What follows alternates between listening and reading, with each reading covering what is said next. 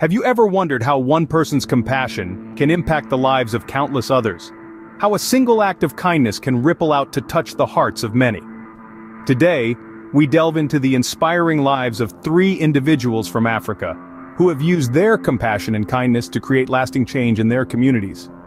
Our first profile is of Amina Yusuf, a woman from Nigeria who has dedicated her life to providing education for young girls in her community.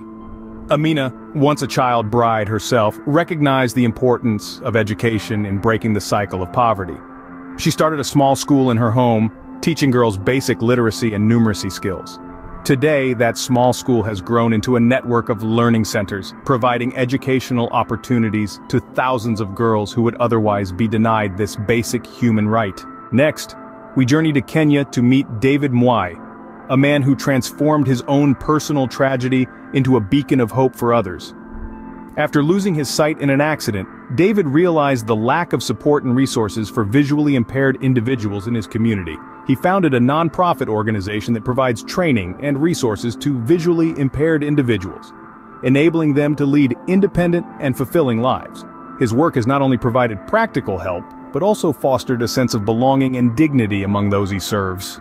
Our final profile takes us to South Africa, where we meet Lethabo Mokena, Lethabo, a young entrepreneur, turned a desolate piece of land in his community into a thriving urban farm. His farm not only provides fresh produce to his community but also employment opportunities for local youth. Through his work, Lethabo has shown that sustainable agriculture can be a powerful tool for community development and poverty reduction. In conclusion, Amina, David and Lethabo have shown us that kindness and compassion are not just lofty ideals, but powerful forces that can transform lives and communities. They have demonstrated that every act of kindness, no matter how small, can create a ripple of change that extends far beyond our immediate sphere of influence. Their stories serve as a testament to the incredible power of the human spirit and the capacity of individuals to make a meaningful difference in the world. So, as we navigate our own lives, may we remember these three individuals and their remarkable contributions. May we also strive to cultivate our own compassion and kindness and use these qualities to create our own ripples of positive change.